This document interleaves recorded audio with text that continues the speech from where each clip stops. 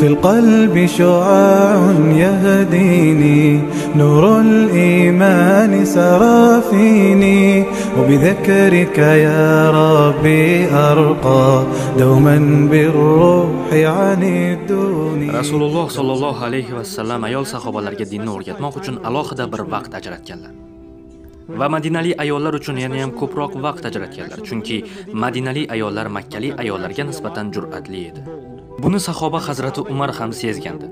Bu ayollar makkadagilar kabi emas degandi. Ya'ni oralarida farq bor edi.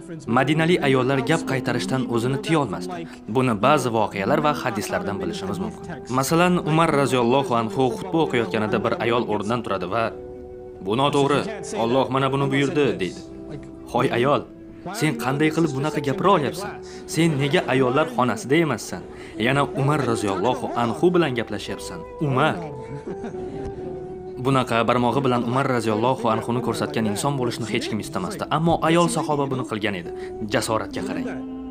Yana ayol va erkaklarning aslo birga turmasligi haqidagi taxminlar bor. Hech qanday sharoitda xuddi islom bunga ijozat bergandek. Bu xato. aslida nomahram bir erkak va ayolning bir biri bilan jamiyatda omma orasida gaplashishi qur'onda kelgan. Muso alayhissalom nomahram ikki qiz bilan gaplashish uchun yonlariga borgandi. To'g'ridan to'g'ri so'radi. Xonimlar biron muammoingiz bormi? Ular ham cho'ponlar qaytmagunlaricha sug'ora olmaymiz otamiz qari chol dedilar. Ya'ni gaplashyaptilar. Ularga bunday demadi. Assalomu alaykum. Rahmatullohi va barakotuh. singillarim siz ikkingiz. Musulmonmi yo'qmi bilmaydi. Ular ham bilmaydilar. Ular ham uning muso alayhissalom ekanligini bilmaydi. Ammo bir birlari bilan gaplashdilar. Bir nomahram boshqasi bilan gaplashyapti. Nima haqida? Bir muammo haqida. Qo'ylari bilan band edilar.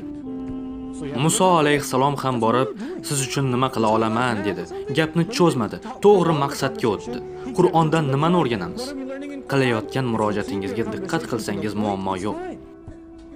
Bu shartlarga tayanib bir ayol bilan ishlash mumkin. Sinfda qiz o'quvchilar bor va savollarga javob berishim kerak. Erkaklarda bo'lgani kabi qizlarning ham savol berishga haqqi bor chunki men o'qituvchiman. Adolat masalasi bu. Ularni orqaga qo'yib beparvo qarolmayman bu adolatdan emas yoki ta'lim sohasida bu to'g'rimi? Yo'q buni qabul qilib bo'lmaydi. Bu masalada qarshi chiqqan olimlar va ruxsat bergan ulamolar ham topiladi. Juda ko'p mashhur ahli sunnat olimi kitob va sunnatni bilganlar bunga ijozat beradilar. Ba'zi bir cheklovlar bilan bu holatga ruxsat beriladi. Masalan suhbatdosh bo'lmasligingiz kerak. Faqatgina xonimlarga emas butun boshli tomoshabinlarga ham bir hazil qilishingiz yaxshi emas. Bu to'g'ri emas. right men bilan sizning orangizda ma'lum bir chegara bo'lishi lozim. Yoki har qanday boshqa bir nomahram bilan orangizda bir daraja bir jiddiylik chegarasi bo'lishi kerak. Xijolat tortib turmasligingiz kerak. Bir ayol sifatida bir nomahram bilan gaplashayotib hech qachon mana bunday bo'lmang. Yo'q siz buni gapirgandingiz. Nima uchun gapiryapsiz? Mana shunday bo'lishni o'rganing. Atrofda nomahram bor ekan. Hijolat bo'lmaslikni o'rganing. Tirjayib bunday demang. Qilgan ishlaringiz uchun alloh rozi bo'lsin. Yo'q. Bularni yolg'iz qolganingizda o'z o'zingizga gapiring. Borib otangizga ayting. Jazakallohu xayr ota. Siz ajoyibsiz deb ayting. Nomahramlar gaplashar ekansiz bu ustoz yoki masjid imomi bo'lishi mumkin yoki ish beruvchidir. Jiddiy ohangda gaplashing. Jiddiy ohangda gaplashing chunki agar bir ayol jiddiy bo'lsa erkak ham avtomatik tarzda jiddiylashadi. Qiz kelyapti uni yoqimli ekanini o'ylayapsan. Kelib senga salom beradi. Assalomu alaykum.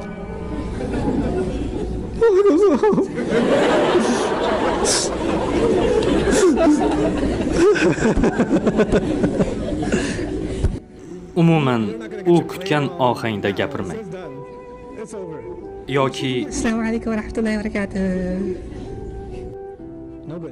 bunday qilmang. Chunki u ham keyin aytadi. Ya'ni siz xonimlar qattiq tonda gaplashishingiz kerak. Bular nur surasida aytiladi. Bu qoidalar allaqachon mavjud. Qattiq bir ovoz toni kerak. Faqat kerakligicha mana bunday qilish ham yaramaydi. Kechirasiz bir savolim bor. Bunday qilmang. Qarshingizdagiga diqqatini chekadigan darajada boqmang. Mana bunday. U holda erkak ham ha singlim albatta so'ra deydi. Yo'q albatta bunday emas. Bu o'rtacha hol. O'zingizni nazorat qilishni o'rganing. Boshqa narsa kerak emas. Bu narsalar jamiyatdagi munosabatimizni halol qilgan asosiy tamoyillardir.